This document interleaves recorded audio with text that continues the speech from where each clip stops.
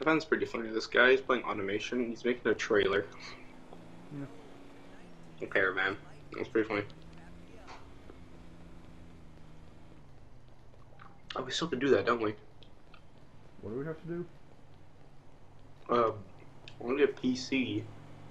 Um, automation of BeamNG Drive. Yeah, Do you want to do that?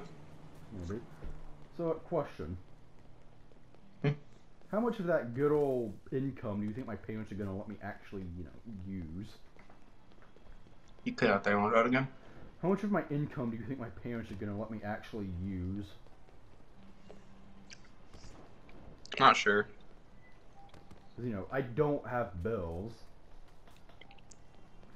Right as I freaking say that, right when I say that,